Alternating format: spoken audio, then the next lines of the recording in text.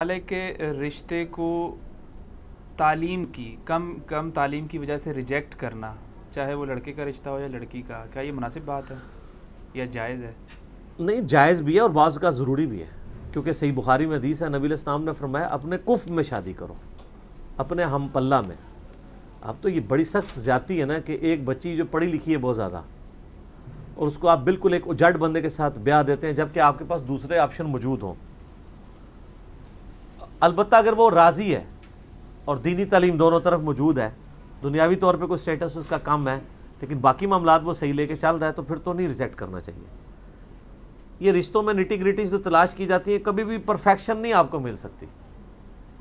और अमूमन जो लोग ये इस तरह की ज़रीर हरकतें करते हैं ना एक तो उनकी शादियाँ लेट हो जाती हैं बच्चियों की भी बच्चों की भी और जब एंड पे जाके वो करते भी है ना वो भी फिर वो सियाणा कहाँ लाइक साहब होना होता है।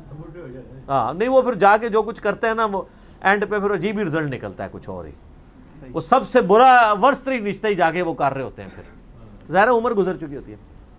बाकी वो मुस्लिम शरीफ में हदीस है ना कि औरत की वजह से औरत से चार वजह के साथ शादी की जाती है। उसके उसनो जमाल की वजह से उसके हसब नसब की वजह से और उसके माल की वजह से और उसकी दीनदारी की वजह से। फिर आपने फरमाया अल्लाह के बंदो दीनदारी देखो। तो लोग तो दीनदारी नहीं देख रहे होते। तालीम कुफ वाले मामले में आती है। ज़ाहिर है कि ये पूरी ज़िंदगी आपने गुजारनी है ना। मैं तो इससे भी एक आगे स्टेप में जाता हूँ कि ख़ानदान का भी इतवार करना चाहिए।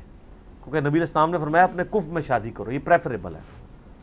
यानी एक औरत है, वो शहर की रहने वाली है, आप पकड़ के उसे एक दूर दराज गाँव में फेंक देते हैं। तो उसकी तो बेचारी की आते ही नहीं उनसे मिलती जुलती होंगी। तो आपस में लड़ाई होती रहेंगी। तो ये हरकतें भी नहीं करनी चाहिए।